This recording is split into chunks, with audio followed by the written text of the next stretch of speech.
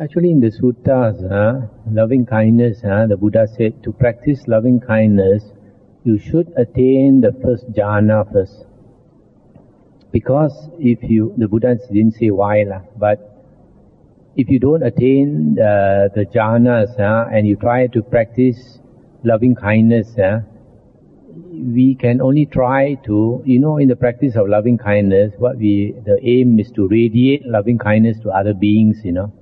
But if you don't have that strength of mind, uh, you're not able to radiate loving kindness to other beings.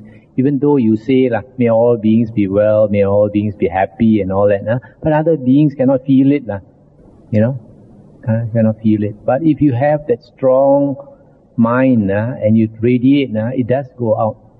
You know, when I was young, uh, I was in a Catholic school uh, for many years. Uh, so the Christian brothers used to give us uh, holy pictures. Uh, and I had a a picture of a Christian saint and with these uh, birds uh, coming and resting on his head, coming and resting on his shoulders uh, and flying all about him. Why?